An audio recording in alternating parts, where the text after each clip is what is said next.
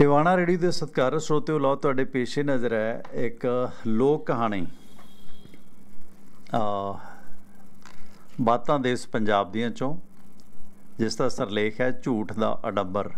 ਪੁਰਾਣੇ ਵਕਤਾਂ ਦੀ ਗੱਲ ਹੈ ਕਿ ਇੱਕ ਪਿੰਡ ਦੇ ਵਿੱਚ ਇੱਕ ਦਲਿੱਦਰੀ ਰਹਿੰਦਾ ਸੀ ਜੋ ਨਿੱਕੀ ਨਿੱਕੀ ਗੱਲ ਤੇ ਵੱਡੇ ਝੂਠ ਬੋਲਦਾ ਸੀ। ਰਾਈ ਦਾ ਪਹਾੜ ਬਣਾ ਦਿੰਦਾ ਤੇ ਪਿੰਡ ਦੇ ਲੋਕਾਂ ਨੂੰ ਉਹਦੀ ਗੱਲ ਤੇ ਬਹੁਤਾ ਵਿਸ਼ਵਾਸ ਨਹੀਂ ਸੀ ਰਿਹਾ। ਸੋ ਉਸ ਬੰਦੇ ਨੇ ਸੋਚਿਆ ਕਿ ਪਿੰਡ 'ਚ ਤਾਂ ਹੁਣ ਦਾਲ ਗਲਦੀ ਨਹੀਂ, ਕਿਉਂ ਨਾ ਪਿੰਡੋਂ ਬਾਹਰ ਜਾ ਕੇ ਝੂਠ ਦਾ ਖੱਟਿਆ ਖਾਦਾ ਜਾਵੇ, ਸੋ ਉਸ ਨੂੰ ਗੱਲ ਬਣਾਉਣੀ ਆਉਂਦੀ ਸੀ। ਤੇ ਜਿਸ ਕਰਕੇ ਉਸ ਨੇ ਕੋਈ ਨਾ ਕੋਈ ਜਗਾੜ ਲੱਭਿਆ ਤੇ ਉਸ ਨੇ ਫਿਰ ਸੋਚਿਆ ਕਿ ਜੇ ਨਵੇਂ ਪਿੰਡ ਚੱਲਦੇ ਆ, ਹੋਰ ਥਾਂ ਚੱਲਦੇ ਆ, ਜਿੱਥੇ ਉਹਦਾ ਟਮਟਮਾ ਸੈੱਟ ਹੋ ਜਾਵੇ। ਸੋ ਕੋਈ ਨਾ ਕੋਈ ਸਲੀਬ ਸੋਚ ਰਿਹਾ ਸੀ ਤੇ ਅਖੀਰ ਉਸਨੇ ਚਮੜੇ ਦੀ ਇੱਕ ਮਸ਼ਕ ਬਣਵਾਈ, ਉਸ ਲੱਪਕ ਦਾਣੇ ਪਾਲੇ ਤੇ ਫੂਕ ਨਾਲ ਚੋਖੀ ਸਾਰੀ ਹਵਾ ਭਰ ਕੇ ਮਸ਼ਕ ਨੂੰ ਬੋਰੀ ਵਾਂਗ ਫੁਲਾ ਲਿਆ ਤੇ ਉਸ ਨੂੰ ਸਿਰ ਤੇ ਬੋਝ ਵਾਂਗੂ ਰੱਖ ਕੇ ਪਿੰਡੋਂ ਨਿਕਲ ਗਿਆ, ਉਹ ਝੂਠਾ। ਤੇ ਲੋਕਾਂ ਨੇ ਵੇਖਿਆ ਤਾਂ ਪੁੱਛਣ ਲੱਗੇ, ਭਾਈ ਝੂਠਿਆ, ਅੱਜ ਕੀ ਪਖੰਡ ਰਚਣ ਲੱਗਾ? ਉਹ ਕਹਿੰਦਾ, ਵਿਆਹ ਕਰਨ ਦੀ ਸੋਚ ਰਿਹਾ। ਸੋ ਕਣਕ ਦੀ ਬੋਰੀ ਵੇਚ ਕੇ ਬੋਟੀ ਲਿਆਉਣ ਚੱਲਿਆ, ਕਦੋਂ ਤੱਕ ਕੁਵਾਰਾ ਬੈਠਣਾ ਰਹਾਂਗਾ? ਲੋਕ ਖੜਖੜ ਹੱਸਣ ਲੱਗੇ, ਹੈ ਭਾਈ, ਕੋਈ ਭੈਂਗੀ ਕਹਾਣੀ ਮਿਲ ਜਾਏਗੀ, ਕੋਈ ਗੱਲ ਨਹੀਂ। ਉਹ ਕਹਿੰਦਾ, ਨਹੀਂ ਨਹੀਂ, ਭੈਂਗੀ ਕਹਾਣੀ ਨਹੀਂ, ਚੰਨ ਵਰਗੀ ਬੋਟੀ ਲਿਆਵਾਂਗਾ, ਵੇਖਦੇ ਰਹੋ।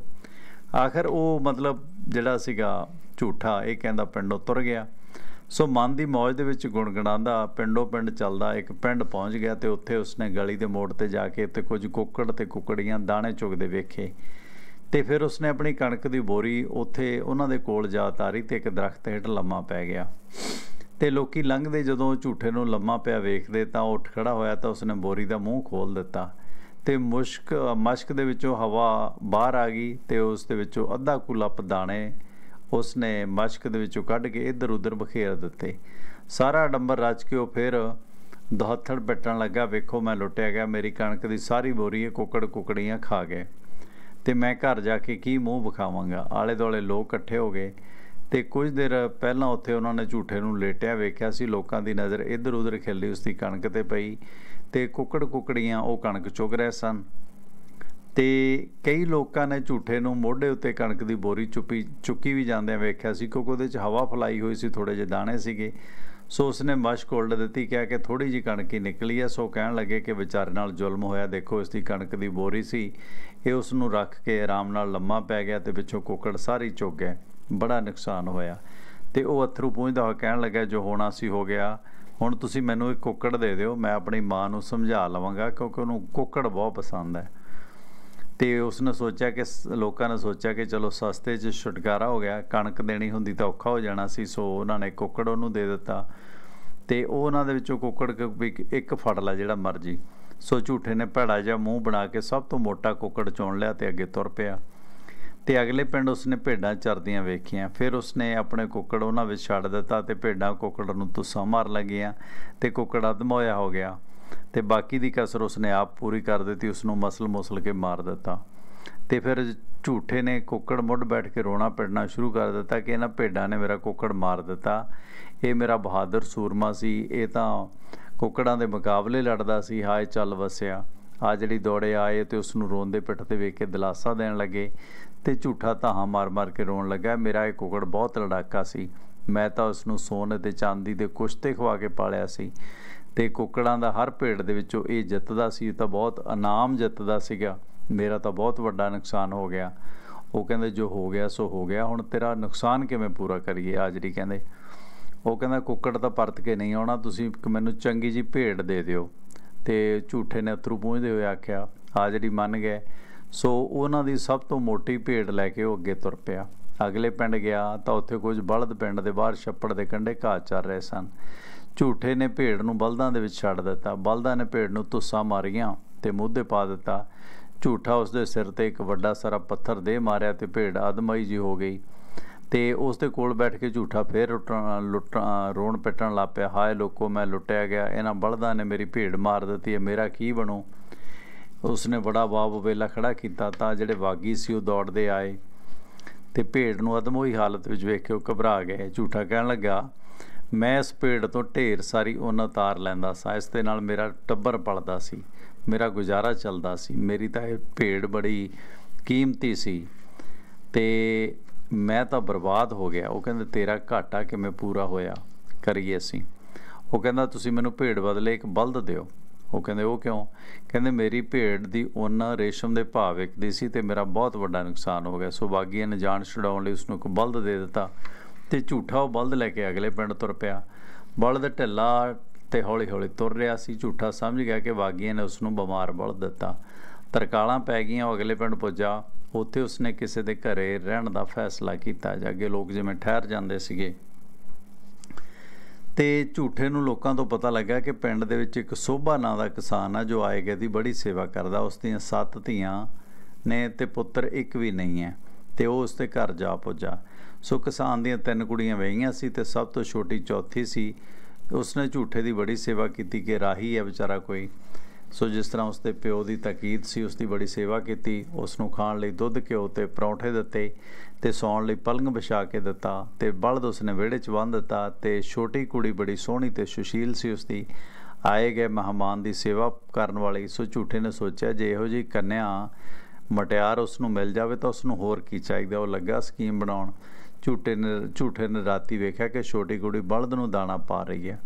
ਉਹ ਰਾਤ ਵੇਲੇ ਉਸਕੇ ਉਸ ਨੇ ਬਲਦ ਨੂੰ ਝੂਠੇ ਨੇ ਨੀਲਾ ਥੋਥਾ ਖਵਾ ਦਿੱਤਾ। ਇੱਕ ਤੋਂ ਪਹਿਲਾਂ ਹੀ ਬਿਮਾਰ ਸੀ, ਦੂਜਾ ਥੱਕਿਆ ਹੋਇਆ ਸੋ। ਨੀਲਾ ਥੋਥਾ ਖਾਂਦੇ ਸਾਰ ਉਹ ਤੜਫਣ ਲੱਗਾ ਤੇ ਸਵੇਰ ਤੱਕ ਉਹ ਬਲਦ ਨੇ ਪ੍ਰਾਣ ਤਿਆਗ ਦਿੱਤੇ।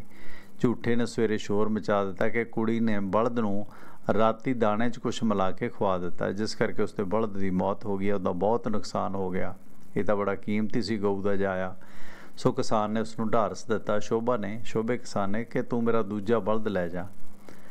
ਪਰ ਉਹ ਕਹਿੰਦਾ, ਮੇਰਾ ਬਲਦ ਤਾਂ 100 ਬਲਦਾਂ ਦੇ ਬਰਾਬਰ ਸੀ, ਤਾਂ ਕੱਲਾ ਹੀ ਢੇਰ ਸਾਰੀ ਭੋਏ ਵਾਹ ਲੈਂਦਾ ਸੀ ਤੇ ਮੇਰੇ ਖੇਤ ਦੀ ਰਾਖੀ ਵੀ ਕਰਦਾ ਸੀ, ਚੋਰਾਂ ਡਾਕੂਆਂ ਨੂੰ ਤੁੱਸਾ ਮਾਰ ਕੇ ਨਠਾ ਦਿੰਦਾ ਸੀ। ਇਹਦੇ ਵਰਗਾ ਬਲਦ ਮੈਨੂੰ ਕਿੱਥੋਂ ਮਿਲਣਾ? ਉਹ ਕਹਿੰਦਾ, ਦੱਸ ਤੈਨੂੰ ਬਲਦ ਬਦਲੇ ਕੀ ਚਾਹੀਦਾ? ਉਹ ਕਿਸਾਨ ਸ਼ੋਭਾ ਨੂੰ ਕਹਿਣ ਲੱਗਾ। ਉਹ ਕਹਿੰਦਾ, ਤੁਹਾਡੀ ਜਿਹੜੀ ਛੋਟੀ ਕੁੜੀ ਐ, ਇਸਨੇ ਬਲਦ ਨੂੰ ਜ਼ਹਿਰ ਦੇ ਕੇ ਮਾਰਿਆ। ਮਹਿਮਾਨ ਰੱਬ ਹੁੰਦਾ ਹੈ ਅਸੀਂ ਤੈਨੂੰ ਨਾਰਾਜ਼ ਕਰਨਾ, ਰੱਬ ਦੇ ਬਰਾਬਰ ਸਮਝਦੇ ਆ।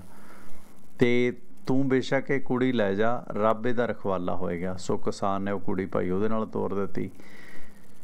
ਛੋਟਾ ਝੂਠਾ ਸੀ ਜਿਹੜਾ ਛੋਟੀ ਕੁੜੀ ਨੂੰ ਉਸ ਦੀ ਕਿਸਾਨ ਦੇ ਨੂੰ ਨਾਲ ਲੈ ਕੇ ਤੁਰ ਪਿਆ। ਝੂਠੇ ਨੇ ਸੋਚਿਆ ਕਿ ਹੁਣ ਘਰ ਵਾਪਸ ਚੱਲਣਾ ਚਾਹੀਦਾ। ਰਾਹ ਦੇ ਵਿੱਚ ਸਾਰੇ ਲੋਕ ਕਦੇ ਝੂਠੇ ਵੱਲ ਬਿਟ-ਬਿਟ ਵੇਖਦੇ, ਕਦੇ ਉਸ ਕੁੜੀ ਵੱਲ ਕਿ ਕੁੜੀ ਐਡੀ ਸੋਹਣੀ ਹੈ ਨੈਣ ਨਕਸ਼ ਦਿਲ ਖਿੱਚਵੇਂ ਨੇ ਤੇ ਇਹ ਐਵੇਂ ਝੁੱਡੂ ਜਿਹਾ। ਤੇ ਹਰੇਕ ਦਾ ਧਿਆਨ ਉਹ ਖਿੱਚ ਲੈਂਦਾ, ਪਰ ਝੂਠੇ ਨੇ ਝੂਠੇ ਦਾ ਨਾ ਰੰਗ, ਨਾ ਰੂਪ, ਨਾ ਕੱਦ, ਨਾ ਕਾਠ। ਝੂਠਾ ਸੋਚਣ ਲੱਗਾ ਕਿ ਇਸ ਕੁੜੀ ਨੂੰ ਛੁਪਾ ਕੇ ਘਰ ਲਿਜਾਣਾ ਚਾਹੀਦਾ। ਤੇ ਨਹੀਂ ਤਾਂ ਪਿੰਡ ਵਾਲਿਆਂ ਨੇ ਇਸ ਨੂੰ ਭੜਕਾ ਦੇਣਾ ਮੇਰੇ ਖਿਲਾਫ। ਸੋ ਉਸਨੇ ਕਿਧਰੋਂ ਇੱਕ ਬੋਰੀ ਲਈ ਤੇ ਉਹ ਕੁੜੀ ਦੇ ਮੋਢੇ ਤੇ ਪਾ, ਉਸ, ਉਸਨੇ ਉਸ ਕੁੜੀ ਨੂੰ ਉਸ ਬੋਰੀ 'ਚ ਪਾ ਕੇ ਆਪਣੇ ਮੋਢੇ ਤੇ ਚੁੱਕ ਲਿਆ। ਕੁੜੀ ਵਿਚਾਰੀ ਅਸੀਲ ਸਭ ਕੁਝ ਸਹਿੰਦੀ ਰਹੀ, ਉਹ ਇੱਕ ਪਿੰਡ ਲੰਘ ਗਿਆ, ਫਿਰ ਹੋਰ ਪਿੰਡ ਤੇ ਰਾਤ ਪੈ ਗਈ। ਤੇ ਝੂਠਾ ਉਸ ਬੋਰੀ ਨੂੰ ਚੁੱਕ ਚੁੱਕ ਕੇ ਜਾਨੀ ਕੁੜੀ ਨੂੰ ਚੁੱਕ ਕੇ ਥੱਕ ਚੁੱਕਾ ਸੀ। ਉਸਨੇ ਉਹ ਰਾਤ ਉਸੇ ਪਿੰਡ ਵਿੱਚ ਕੱਟਣ ਦਾ ਫੈਸਲਾ ਕੀਤਾ। ਇੱਕ ਬੁੱਢੀ ਪਟਿਆਰਨ ਤੋਂ ਰਾਤ ਰਹਿਣ ਲਈ ਉਸਨੇ ਟਿਕਾਣਾ ਮੰਗਿਆ। ਉਸ ਬੁੱਢੀ ਨੇ ਆਗਿਆ ਦੇ ਦਿੱਤੀ ਬੋਰੀ ਨੂੰ ਵੇਟ ਕੇ ਉਸ ਬੁੱਢੀ ਪੱਠੀਆਂ ਪੱਠੀ ਵਾਲੀ ਨੇ ਜਾਨੀ ਪਠਿਆਰ ਨੇ ਪੁੱਛਿਆ, ਇਸ ਬੋਰੀ 'ਚ ਕੀ ਏ? ਉਹ ਕਹਿੰਦਾ, ਬਾਗੜ ਬਿੱਲਾ ਮੈਂ ਜੰਗਲ 'ਚੋਂ ਫੜਿਆ ਤੇ ਘਰ ਲਿਜਾ ਰਿਹਾ। ਪਰ ਉਸ ਬੁੱਢੀ ਔਰਤ ਨੂੰ ਝੂਠੇ ਦੀ ਗੱਲ ਤੇ ਵਿਸ਼ਵਾਸ ਨਾ ਆਇਆ। ਜਦੋਂ ਬੁੱਢਾ ਸੌਂ ਗਿਆ ਤੇ ਬੁੱਢੀ ਨੇ ਬੋਰੀ ਖੋਲੀ ਤੇ ਉਸ ਵਿੱਚੋਂ ਕੁੜੀ ਕੱਢ ਲਈ ਤੇ ਉਸ ਪਠਿਆਰਨ, ਉਸ ਨੂੰ ਪਠਿਆਰਨ ਦੇ ਕੱਪੜੇ ਪਵਾ ਕੇ ਲੰਮਾ ਕੁੰਡ ਕਢਵਾ ਕੇ ਆਪਣੇ ਕੋਲ ਮੰਜੇ ਤੇ ਲਟਾ ਲਿਆ ਤੇ ਫਿਰ ਉਸਨੇ ਬੋਰੀ ਦੇ ਵਿੱਚ ਇੱਕ ਬਾਗੜ ਵੇਲਾ ਪਾ ਕੇ ਬੋਰੀ ਉਸੇ ਤਰ੍ਹਾਂ ਬੰਦ ਕਰ ਦਿੱਤੀ। ਝੂਠਾ ਜਦੋਂ ਸਵੇਰੇ ਉੱਠਿਆ ਤਾਂ ਉਸਨੇ ਬੋਰੀ ਚੁੱਕੀ ਤੇ ਘਰ ਵੱਲ ਨੂੰ ਤੁਰ ਪਿਆ। ਅਖੀਰ ਉਹ ਪਿੰਡ ਪੁੱਜਾ, ਨੱਚਦਾ, ਭੁੜਕਦਾ, ਗੀਤ ਗਾਉਂਦਾ, ਤੁਰਦਾ ਜਾਂਦਾ ਕਿ ਪਿੰਡ ਦੇ ਲੋਕ ਉਸ ਨੂੰ ਹੱਸਣ ਲੱਗੇ। ਉਹ ਕਹਿੰਦਾ, ਮੈਂ ਕੁੜੀ ਵਿਆਹ ਕੇ ਲਿਆ ਬਹੁਤ ਸੋਹਣੀ ਹੈ, ਸਾਰੇ ਪਿੰਡ ਦੇ ਵਿੱਚ ਵੀ ਕੋਈ ਇਹੋ ਜਿਹੀ ਮਟਿਆਰ ਨਹੀਂ। ਉਸ ਦੀ ਗੱਲ ਸੁਣ ਕੇ ਪਿੰਡ ਦੇ ਮੁੰਡੇ ਉਸ ਦੇ ਪਿੱਛੇ ਪਿੱਛੇ ਉਤਰੇ ਪਏ, ਉਹ ਸਭ ਹੈਰਾਨ ਸਨ। ਉਹ ਕੁੜੀ ਨੂੰ ਝੂਠੇ ਨੇ ਬੋਰੀ 'ਚ ਕਿਉਂ ਬੰਦ ਕੀਤਾ? ਇਸ ਗੱਲੋਂ ਵੀ ਹੈਰਾਨ ਸਨ। ਸੋ ਆਪਣੇ ਘਰ ਜਾ ਕੇ ਉਸ ਝੂਠੇ ਨੇ ਸਭਨਾਂ ਦੇ ਸਾਹਮਣੇ ਉਹ ਬੋਰੀ ਖੋਲੀ ਤੇ ਬੋਰੀ ਦੇ ਵਿੱਚੋਂ ਭੁੱਖੜ ਭੁੱਖਾ ਭੁੱਖਣ ਭਾਣਾ ਬਾਗੜ ਬਿੱਲਾ ਭੁੜਕਿਆ ਤੇ ਝੂਠੇ ਦੇ ਮੂੰਹ ਵੱਲ ਝਪਟਿਆ ਤੇ ਉਸਨੇ ਉਸ ਦੀਆਂ ਦੋਵੇਂ ਅੱਖਾਂ ਨੋਚ ਲਈਆਂ। ਕਹਿੰਦੇ ਨੇ ਕਿ ਝੂਠੇ ਨੇ ਬਾਕੀ ਦੀ ਸਾਰੀ ਉਮਰ ਲਾਠੀ ਫੜ ਕੇ ਮੰਗ ਪਿੰਨ ਕੇ ਗੁਜ਼ਾਰੀ। ਸੋ ਇਹ ਹੈ ਕਹਾਣੀ ਝੂਠ ਦਾ ਅਡੰਬਰ। ਹਾਲਾਂਕਿ ਇਹਦੇ ਚ ਭਾਵੇਂ ਕੁਝ ਜਿਵੇਂ ਕਲਾਤਮਕ ਚੀਜ਼ਾਂ ਹੁੰਦੀਆਂ ਨੇ ਵਧਾ ਚੜਾ ਕੇ ਪੇਸ਼ ਕੀਤਾ, ਹੁਣ ਜੇ ਦੇਖਿਆ ਜਾਵੇ ਬਾਗੜ ਵੇਲੇ ਦਾ ਤੇ ਕੁੜੀ ਦੇ ਭਾਰ ਦਾ ਫ਼ਰਕ ਹੁੰਦਾ ਹੈ। ਪਰ ਉਹਦੇ 'ਚ ਇਹ ਆ ਕਿ ਅੱਗੇ ਪਹਿਲੇ ਸਮੇਂ 'ਚ ਬਹੁਤ ਛੋਟੀ ਉਮਰ ਦੀਆਂ ਬੱਚੀਆਂ ਨੂੰ ਵਿਆਹ ਦਿੰਦੇ ਸੀਗੇ। ਤੇ ਇਹ ਇੱਕ ਸਸਪੈਂਸ ਜੀ ਬਣੀ ਹੈ, ਹਨਾ? ਤੇ ਉਹ ਜਿਹੜਾ ਵਰਤਾਰਾ ਹੈ ਕਿ ਅਸਲ 'ਚ ਇਹ ਸਮਝਾਇਆ ਗਿਆ ਕਿ ਭਾਈ ਝੂਠ ਆਖਰ ਝੂਠ ਹੈ।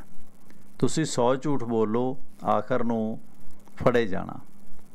100 ਦਿਨ ਚੋਰ ਦੇ ਤੇ ਇੱਕ ਦਿਨ ਸਾਧ ਦਾ। ਇਹਦੇ 'ਚ ਸਚਾਈ ਤੇ ਪਹਿਰੇ ਦੇ ਪਹਿਰਾ ਦੇਣ ਦੀ ਗੱਲ ਆਖੀ ਗਈ ਹੈ ਕਿ ਝੂਠ ਦਾ ਮਲਮਾ ਬਹੁਤੀ ਦੇਰ ਨਹੀਂ ਚੜਦਾ ਉਹ ਕਹਿੰਦੇ ਨੇ ਕਿ ਕਾਠ ਦੀ ਹਾਂਡੀ ਵਾਰ-ਵਾਰ ਨਹੀਂ ਚੜਦੀ ਸੋ ਇਸ ਦੇ ਵਿੱਚ ਜਿਹੜਾ ਇੱਕ ਮਨੋਰੰਜਨ ਵੀ ਹੈ, ਇੱਕ ਹਾਸਾ ਠੱਠਾ ਵੀ ਹੈ, ਇੱਕ ਇਹ ਹੈ ਕਿ ਜਿਹੜਾ ਝੂਠ ਬੋਲਣ ਵਾਲਾ ਬੰਦਾ, ਉਹਨੇ ਕਿਤੇ ਨਾ ਕਿਤੇ ਜ਼ਿੰਦਗੀ 'ਚ ਛਿੱਥਾ ਪੈਣਾ।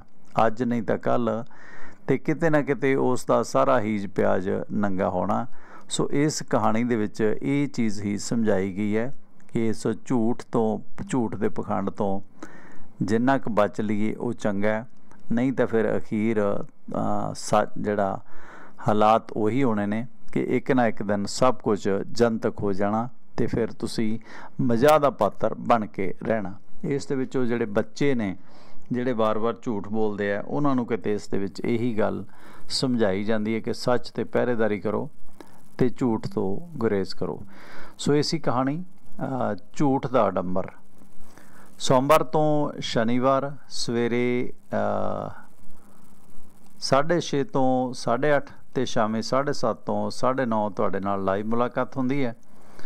ਤੇ ਤੁਸੀਂ ਆਪਣੇ ਇਹਨਾਂ ਪ੍ਰੋਗਰਾਮਾਂ ਨੂੰ ਆਪਣੇ ਟਿਵਾਣਾ ਰੇਡੀ ਦੇ YouTube ਪੇਜ ਤੇ ਲਾਈਵ ਸੁਣਦੇ ਹੋ ਤੇ ਇਸ ਲਾਈਵ ਪ੍ਰੋਗਰਾਮ ਦਾ ਲਿੰਕ ਜਾਂ ਕੁਝ ਆਪਣੇ ਵੀਡੀਓ ਪ੍ਰੋਗਰਾਮ ਹੁੰਦੇ ਨੇ, ਉਹਨਾਂ ਦੇ ਲਿੰਕ ਤੁਸੀਂ ਆਪਣੇ WhatsApp ਗਰੁੱਪ ਨੰਬਰ 98763 09655 ਤੇ ਸੁਣ ਸਕਦੇ ਹੋ ਹਾਸਲ ਕਰ ਸਕਦੇ ਹੋ। ਤੇ ਇਸੇ ਹੀ ਨੰਬਰ 98763 09655 ਤੇ ਤੁਸੀਂ ਪ੍ਰੋਗਰਾਮ ਦੇ ਵਿੱਚ ਵੀ ਕਾਲ ਕਰ ਸਕਦੇ ਹੋ।